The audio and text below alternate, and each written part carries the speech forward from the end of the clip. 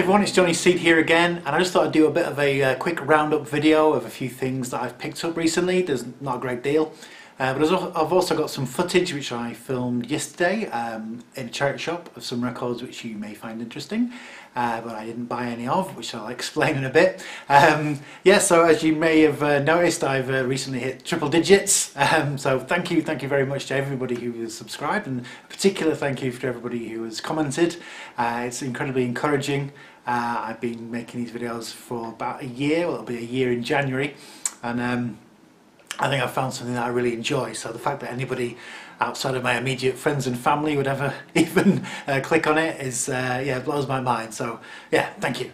Um, all right, so we'll get into the, uh, the things I've picked up. Like I say, don't be uh, expecting anything amazing. There's a couple of bits of vinyl and some CDs. So um, we shall start with the CDs, I think. Um, first of all, uh, the band The Last Waltz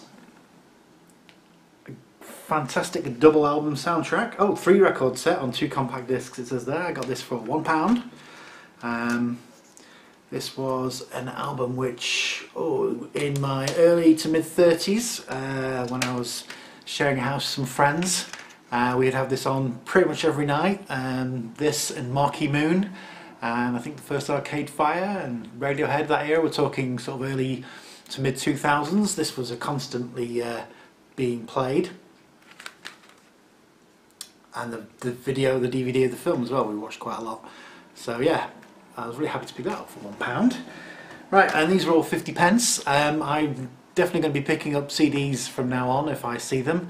Uh, I think years of uh, just how having um, stuff on cassette and downloading things on, on, my computer means that I'm missing a lot of physical copies of things I really like. So um, seeing as a lot of CDs now are a pound or 50 pence even in charity shops, if I see something that I know, I'm just going to grab it. You know, I'm not going to wait for the, uh, the vinyl to, co to come along. um, so yes, I've got uh, Audioslave, Revelations. Uh, I've not heard this album, um, but I do like uh, the people in it. So I was a huge Soundgarden fan, one of my favourite bands of the 90s. Um, but yeah, I've not really listened to much Audioslave, so I'll give that one a go for 50 pence. I think this has actually got a DVD in it as well. Uh, yeah, comes with a bonus disc of a DVD. Uh, and there's a CD. And there's the rest of it.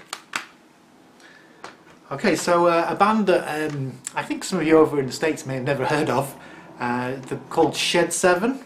Uh, now they were a Britpop band, uh, kind of late Britpop I think, um, definitely mid 90s. I can't quite see, I think this is 96 on their release date. Um, but much maligned, I think, in the press, in the music press at the time. They were sort of considered to be a little bit of a, a little bit of a joke, really, and I don't know why. Um, so I thought I'd give this a listen and give them a reappraisal. Um, it may have been the name Shed Seven was, you know, maybe a bit daft, but I think they were maybe undeserving of uh, the kind of jokey criticism they got. I just remember from the Melody Maker and the NME at the time, they were like the butt of, of many jokes. Uh, they were kind of like the Britpop version of Dumpy's Rusty Nuts. So if you've never heard of Dumpy's Rusty Nuts, then uh, yeah, search them out, seek them out. okay, finally on CD, uh, a this is an album which um, Matt Hayes showed a couple of weeks ago on vinyl, and it's cast. And he uh, played a few uh, few seconds of it, and I thought I'd forgotten all about cast, but yeah, this has got loads of good songs in it actually. So yeah, I was very happy to get this. Um, all Right, Sandstorm, Walk Away. Good stuff, good Liverpool band these. Uh, this is the booklet. Whatever happened to Cast? I'll have to just do a bit of looking around and see if they how many albums they did. They seem to have uh, they seem to blow up and then disappear unfortunately. Uh, right, so that's the CDs. I've got two uh, vinyl albums. Um, Mud Rock, again a band that people over in the States may not be familiar with. Mud were huge in the uh, very early 70s in the UK. They had a string of number ones. Most of them were a bit sort of, uh, uh, did a, I think they did an Elvis cover. Um, they were sort of in the same mould as like Slade and The Sweet, and um, same um, writing team um, of uh, Chapman and Chin, Chinn and Chapman. Uh, but I got this because it's got one of my favourite songs of all time on it, and one of my favourite songs from when I was a kid, and that's the song Tiger Feet, which has been a massive influence in my musical tastes and and musical writing, I think, over the years in, in one way or another. Uh, that sort of what I call the glam vamp.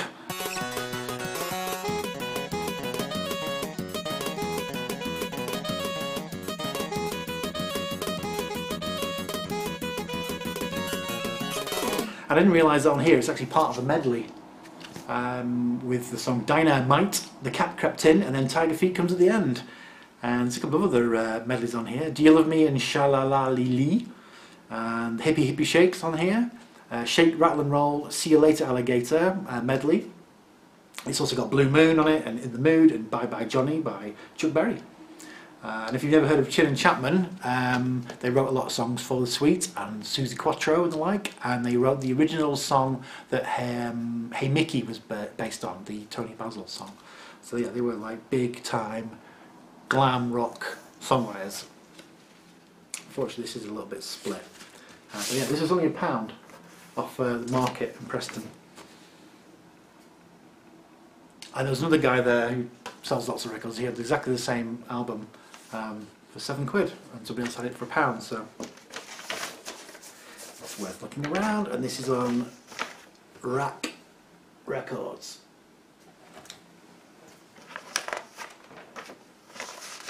Is it Rack or R-A-K? I'm guessing I'm saying Rack. right, the last bit of vinyl. Um, if you'd have asked me in 1986 uh, what my favourite song of all time was, I would have said it's The Power of Love by Huey Lewis and the News, as featured on in the film Back to the Future. Uh, I still love this song, um, but I've never heard the album it was from. Um, so when I saw this, equally for a pound on the market, I thought, I'm having that. Um, this has also got Jacob's Ladder on it, Stuck With You, which you may be familiar with, Whole Lot of Lovin', Doing It, All For My Baby, uh, Hip to Be Square, which is another big hit, uh, I Know What I Like, I Never Walk Alone, The Power of Love, uh, Forest for the Trees, Naturally, and Simple as That. So yeah, bit of Huey Lewis. Uh, weren't they Patrick Bateman's favourite band? You like Huey Lewis and the News? I guess says a lot about them. but yeah, very happy to pick this up, even if it's just like one song. Although Hip to Be Square is quite good. This is on Chrysalis. Right, and finally for this section we have one more piece of vinyl. Uh, this is something I picked up too late to be included in my uh, jazz haul video, uh, which you hopefully would have seen. This is Stan Getz 45, um, 7 inch single on the Bravo label and I've not listened to it yet so in keeping with the theme of the last video I thought I'd spin it now for you. Um, on here we have side one Blue Rhythm Jam and Blue Rhythm Blues got all out on the song tiles there. And side two and the Angels Sing and Don't Worry About Me. So uh, let's give this one a play shall we? Okay there's the label on the Bravo label and this is from 1965.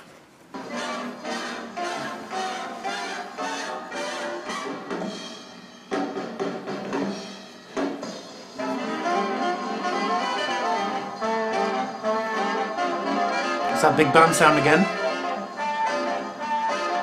Reminds me of the Stan Kenton one I was I um, played.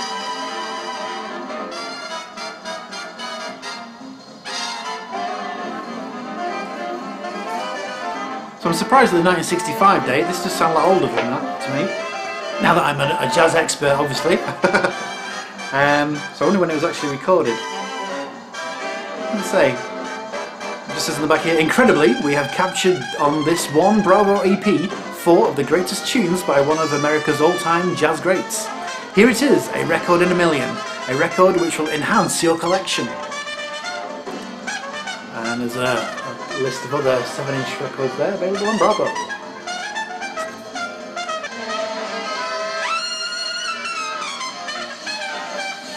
Squealy.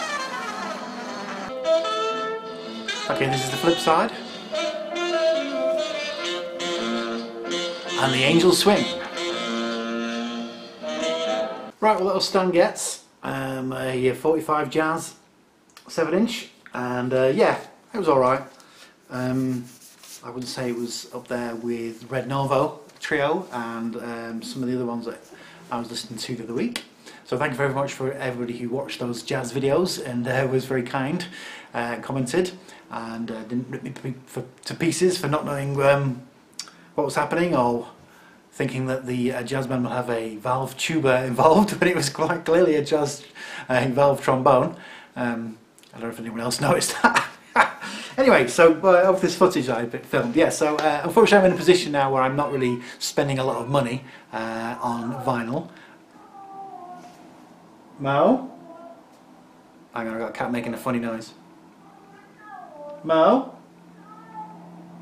He does that when he's about to be sick. Just one minute. Yeah, he's fine. He was just on the windowsill. I think he'd seen the neighbour's cat and he was just sort of communicating with it. Anyway, where was I? Oh yeah, so um, yeah, so I'm going to have to be reining in some of my spending for the next couple of weeks on um, second-hand records. So, but I couldn't resist going into my local charity shop because uh, I was walking past there anyway, and uh, yeah, and um, I saw a few very, very, very interesting things, um, but things at a price which I wasn't prepared to pay, unfortunately. Anyway, I'll uh, I'll run the footage now and, and speak over it, and you'll see what I mean. Alright, so this is the first thing I saw. This is Xentrix, a local Preston band. Actually, I think they were from Leyland, but that's not too far away. Uh, yeah, I was uh, not expecting to see this in my local charity shop. This is their first album, uh, Shattered Existence. Yeah, so Mark G with a C, I think, showed this on CD in one of his videos. Um, this Xentrix were a thrash metal band, and we had the pleasure of uh, supporting them when they played at the Tash in Blackpool. Um, a couple of years after this was released, I think this album here came out in 1989 and we supported them in 1992 uh, so I don't think things were going too well for them if they were playing at the Tash although I did look on uh, the setlist FM and they played Hammersmith Odeon a couple of weeks later so I guess they were doing a warm-up gig probably best known for their cover version of the Ghostbusters theme uh, which got a bit of airplay and uh, was on programs like Power Hour I don't know if you remember that and a Headbangers Ball, I think. Uh, but yeah, probably a bit more well renowned as a um, serious thrash band. So if this would have been under a tenner, I probably would have sprung for it. I just. Uh, maybe I should have got it. I don't know. Fifteen quid is about the right price, but uh, again, it was. I'm not. Uh, you know, I wasn't wasn't looking to spend that much. I'm sure somebody will uh, will pick it up and give it a good home. Yeah, I know. Maybe if it's still there in a few weeks, I'll get it once I've been paid. I doubt it though. Alright, this was a Jethro Tull album I've never heard of. Uh, speaking of local bands, uh, Ian Anderson, originally from Blackpool. Never really heard any Jethro Tull. This, that was one of the later ones, so um, and I didn't pick that one up either. Okay, a Beatles al album, Hard Day's Night, without the cover, uh, for six pounds. Plays well. Uh, yeah, I wasn't going to pick up an album without a cover. Okay, Sonny Terry and Brownie McGhee in London. Uh, Rare Blues for £8. I uh, didn't know, not heard of any either of those people. Let me know if you think £8 is a good price for that. Uh, was I a fool to leave it behind? Somebody had written on it in pen, little dots there, I don't know why they'd done that.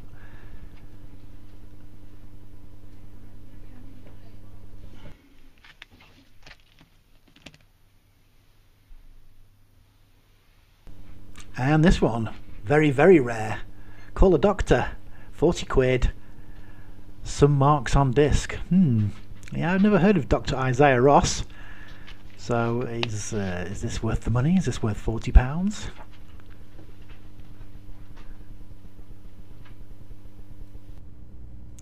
Okay, I just thought I'd add this on at the end. This is on the market a couple of days before, and this guy normally just has the boxes of uh, of stuff he gets from house clearances. I think he normally just has like uh, you know quite a lot of junk, but normally the albums he has in this box are a pound. So when I pulled this out, I had to ask him. I said, you know, this this is this one a pound?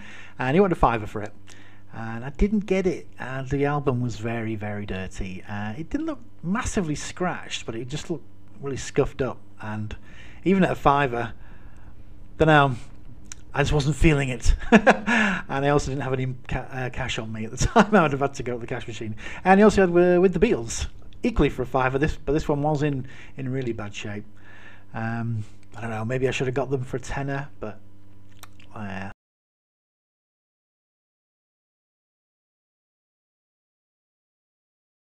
Okay, thank you very much for watching and I'll see you all again next time.